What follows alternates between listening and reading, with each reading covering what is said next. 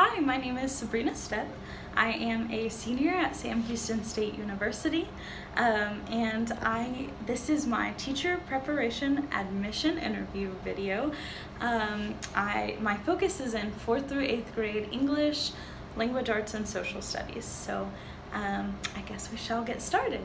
Um, as far as the interview questions, the first question was um, just in my own schooling, um, whether I had a subject area, task, or assignment where I struggled, how I solved it, and how I would use this experience to guide uh, my students in the future. And so, um, reflecting back on my time in school, I believe that I generally didn't have that hard of a time. Um, I was very blessed and just being really good at school overall, um, very book smart. So, but there was one specific class that I really struggled in and ultimately ended up failing, and that was French. Um, it was my second year of French, so the first one I passed. Um, I don't know if my grades were great, I can't actually remember, but I know that the second year I ended up failing. And so um, I think that really what happened was that I had not really developed very good studying habits because I never really had to study before. And when it came down to it, I was not um, as intentional with my time or with studying as I really could have and should have been.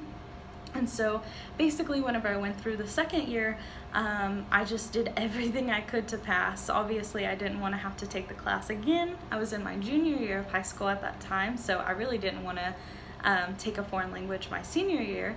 And so I just um, really had to be more strict with myself and disciplined with my time and finding um, time to study and really seeking inward and finding like what study habits worked for myself.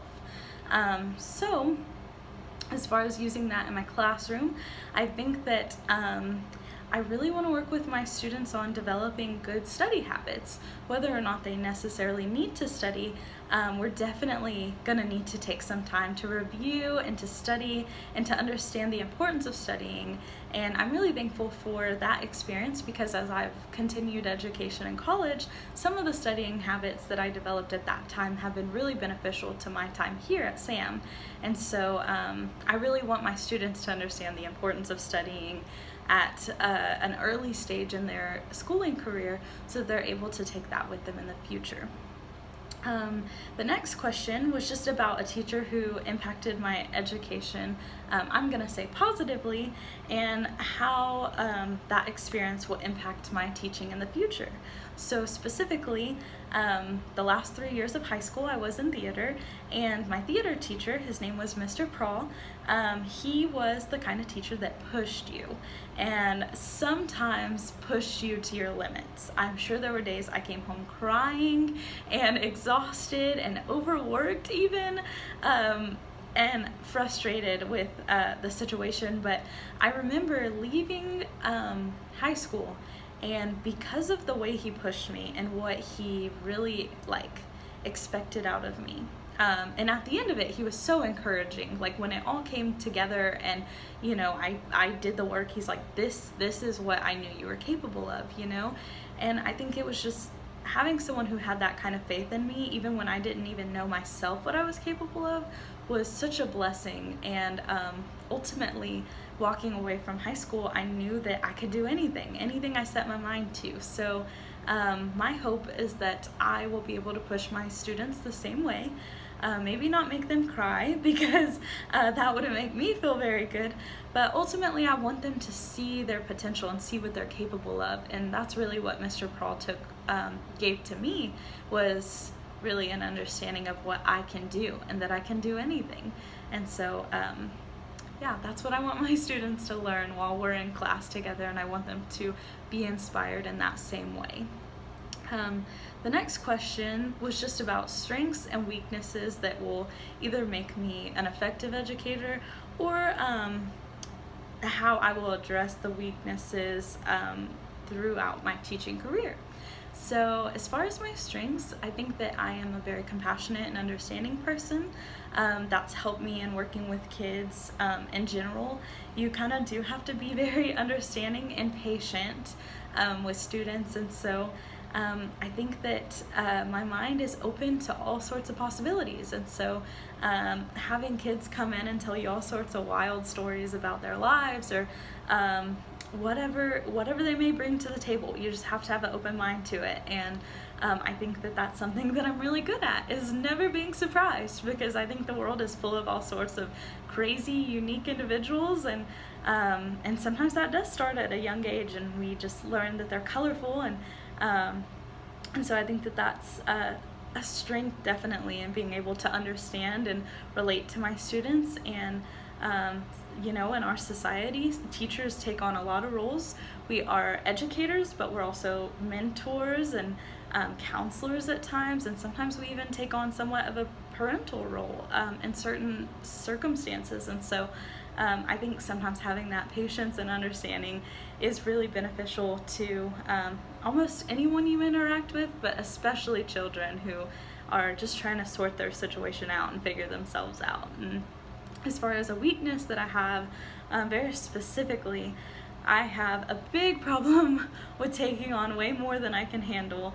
Um, and it can be beneficial because I have a servant heart and I love um, just staying busy and staying active and having things to do just excites me.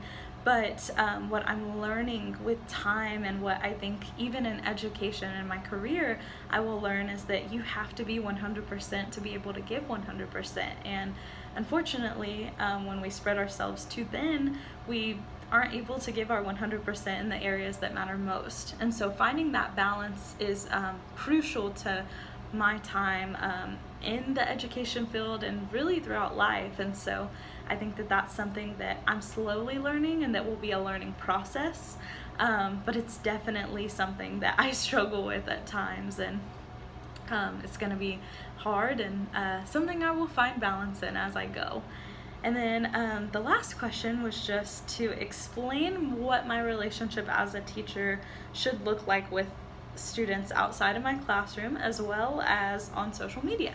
And so um, I think that this can be so tricky because um, we are a society that does everything on social media. And so um, I think that what I have learned with time is that although um, it's important for me not to post anything that I would never want my students to see or their parents to see or anything I could ever be ashamed of, and I generally don't. Um, I still feel as though maybe um, just cutting that relationship and not allowing them to have such an intimate personal relationship with us is important because um, like i said they are looking up to us as examples and we're all human and sometimes we do um, you know post either our political views or um, something that's going to sway their thought process and ultimately um, we just want to guide them in the right direction. And so being in that uh, education environment, being their teacher,